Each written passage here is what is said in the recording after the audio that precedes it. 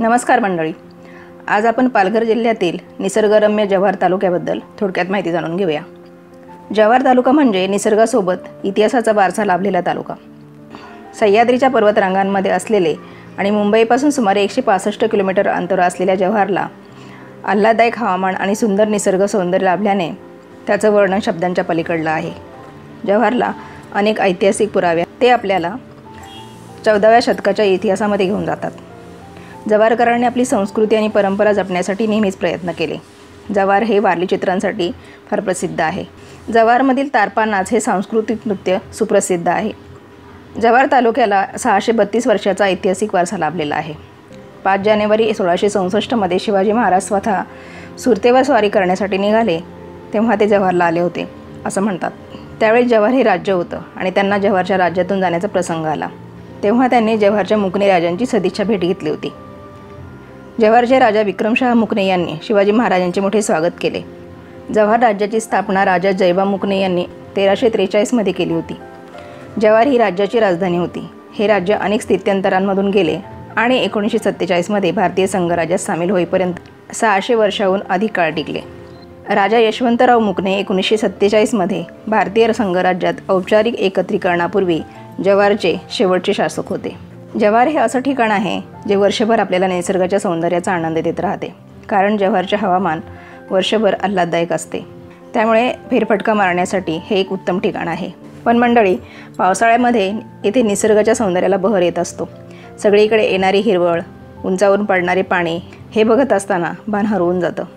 Jai Vilas palace हे जव्हार तालुक्यातील एक ऐतिहासिक आकर्षण.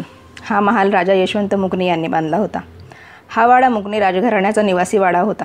हा महाल वास्तुशास्त्राचा एक उत्कृष्ट नमुना आहे असं म्हटलं जातं. राजवाड्यात पन्नासपेक्षा जास्त खोल्या आहेत. राजवाड्याच्या आतील भाग मुकणे घराण्याच्या राजांची समृद्धी संस्कृती आणि शि- जीवनशैली दर्शवतात. डोंगरावर बांधलेल्या या राजवाड्याभोवती एक बाग आहे. तसेच आजूबाजूला सर्वत्र घनदाट जंगल आहे. हनुमान पॉईंट येथे मोठी दरी आहे. ह्या ठिकाणावरून दरीचे अतिशय सुंदर दृश्य दिसते. ही दरी जवळपास पाचशे फूट खोल आहे. नूतनीकरणाच्या दरम्यान मंदिराजवळ एक व्ह्यू पॉईंट तयार करण्यात आला जो हनुमान पॉईंट म्हणून ओळखला जातो. या दरीला देवकोबाचा कडा असंही म्हटलं जातं. जव्हारच्या मध्यभागातून पश्चिमेकडे सुमारे अर्धा किलोमीटर आणि निसर्गाशी वेगळीच किमया लाभलेला एक ठिकाण म्हणजे सनसेट पॉईंट सभोवतालच्या दरीचा आकार धनुष्यासारखा आहे त्यामुळे खूप वर्षापूर्वी ते धनुकमल या नावाने सुद्धा ओळखलं जात होतं. या ठिकाणी सूर्य मावळतीच्या वेळी खूपच नयनरम्य देखावा बघायला मिळतो.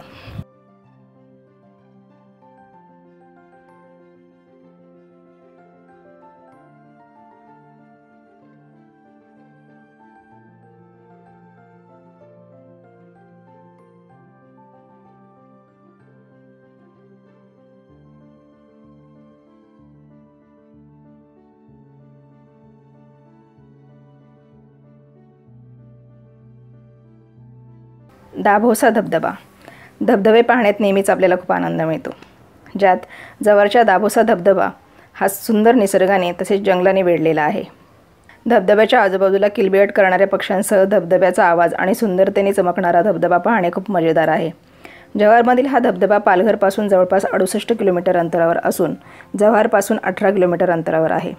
पावसाळ्यात दाभोसा वॉटरफॉल हे निसर्गरम्य दृश्य बघताना मनाला वेगळंच सुख मिळतं. दाभोसा धबधबा लेंडी नदीवर आहे. धबधब्याची उंची सुमारे तीनशे फूट आहे. दाभोसा धबधब्याच्या दळाशी असलेला तलाव खरोखरच एक देखणीय स्थळ आहे.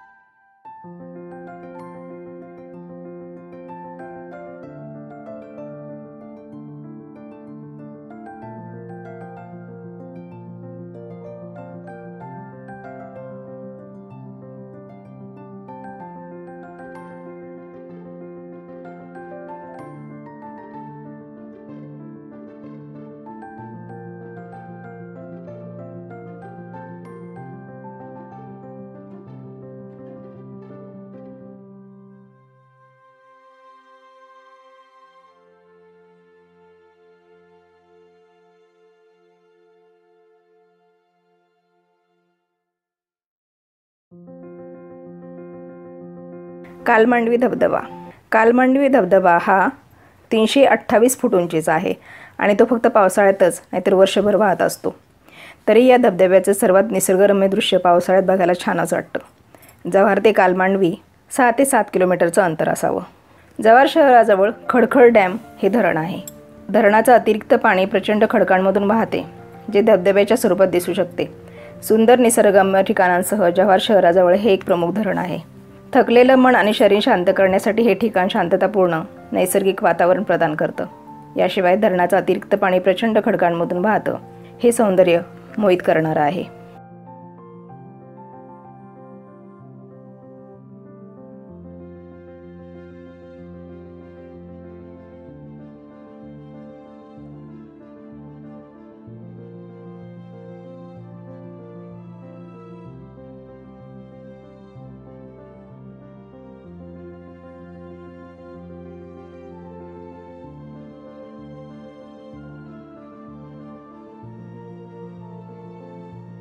शिरपामाळे ह्या ठिकाणाला जुना इतिहास लाभलेला आहे. छत्रपती शिवाजी महाराज सुरतवर हल्ला करण्यासाठी जेव्हा सुरतच्या दिशेने निघाले होते तेव्हा त्यांनी सैन्याची छावणी जव्हार संस्थानाजवळ उभारली आणि त्यांनी जव्हारचे राजे विक्रमशाह मुकणे यांची सदिच्छा भेट घेतली. त्यातील शिरपाबाळ म्हणजे त्यांच्या भेटीचं मुख्य ठिकाण होतं. छत्रपती शिवाजी महाराज यांनी एकतीस डिसेंबर सोळाशे चौसष्टमध्ये ही भेट घेतली होती.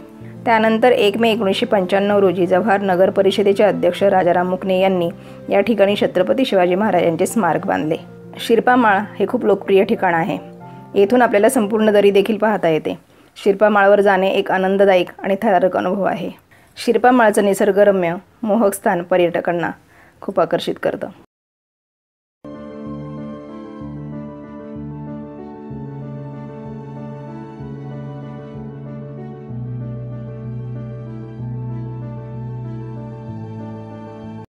भोपतगड किल्ला. छत्रपती शिवाजी महाराजांनी बांधलेला जव्हारमधील हा किल्ला इतर किल्ल्यांच्या तुलनेने लहान आहे. हा किल्ला एका जीर्ण खडकापासून कोरलेला असल्याचं सांगितलं जातं. पौराणिक कथेनुसार शिवाजी महाराजांनी या किल्ल्याचा वापर त्यांच्या वैयक्तिक आणि काही अधिकृत बैठका आयोजित करण्यासाठी केला होता. एक दिवसाच्या ट्रेकिंग अनुभवासाठी एक परिपूर्ण ठिकाण म्हणून भोपतगडचा किल्ला याचा उल्लेख केला जातो. हा किल्ला निसर्गरम्य परिसराने परिपूर्ण आहे. शिवाजी महाराजांनी या किल्ल्याला स्वराज्यात समाविष्ट केल्यामुळे या ठिकाणाला ऐतिहासिक महत्त्व प्राप्त झालं आहे भोपतगडाचा उपयोग टेहळणी किंवा निगराणी बुरुज म्हणून करण्यात येत असे.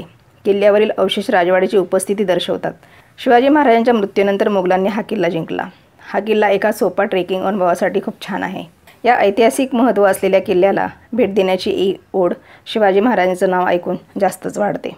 जव्हारच्या संस्कृतीमध्ये वारली चित्रकला तारपा नृत्य बोहडा अशा विविध कला संस्कृती पाहण्यास मिळतात जी जव्हारकरांनी प्राचीन काळापासून जपलेली आहे. असा हा पालघर जिल्ह्यातील निसर्गाचा वारसा लाभलेला तालुका. वर्षभर हजारो पर्यटक या ठिकाणाला भेट देत असतात. पावसाळ्यामध्ये येथील निसर्गसृष्टी बहरत असते त्यामुळे जास्तीत जास्त पर्यटक येथे पावसाळ्यात येण्यामध्ये पसंत करतात. कारण पावसाळ्यामध्ये जव्हारचं निसर्ग सौंदर्य जास्तीत जास्त खुलून दिसत असतं. चला तर मग आपल्या वेळेनुसार आपणही जव्हारला भेट देऊया आणि निसर्गाचा आनंद घेऊया. धन्यवाद.